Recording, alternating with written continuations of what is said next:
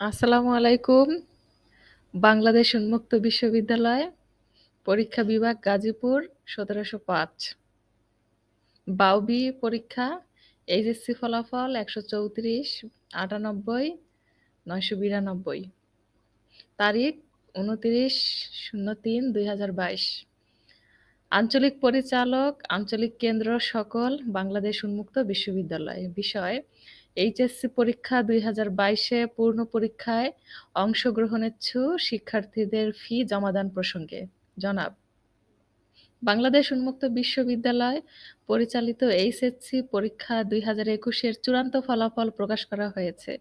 অনিয়মিত অকৃতকার্য শিক্ষার্থী যারা দুই হাজার বাইশে অনুষ্ঠিতব্য পরীক্ষায় অংশগ্রহণেচ্ছুক তাদের পুনঃ পূর্ণ পরীক্ষার ফি জমাদান এবং পূর্ণ পরীক্ষার আবেদন গ্রহণ সংক্রান্ত বিষয়ে অনুসরণীয় সূচি নিম্নরূপ: ক পূর্ণ পরীক্ষায় অংশগ্রহণেচ্ছুক শিক্ষার্থীদের বিলম্ব ফি ছাড়া পূর্ণ পরীক্ষার অন্য অনলাইনে আবেদন ও ফি জমা দেওয়ার সর্বশেষ তারিখ শূন্য তিন শূন্য চার দুই হাজার বাইশ থেকে পঁচিশ শূন্য চার দুই হাজার বাইশ পর্যন্ত।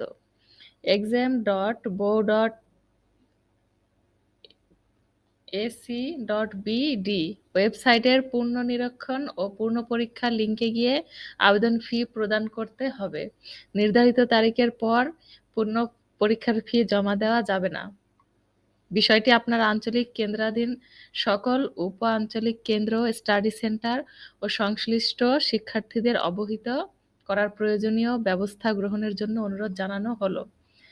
এতদর সঙ্গে পূর্ণ পরীক্ষার অনলাইনে আবেদন এবং ফি জমা দেয়া, দেয়ার নিয়মাবলী প্রেরণ করা হলো।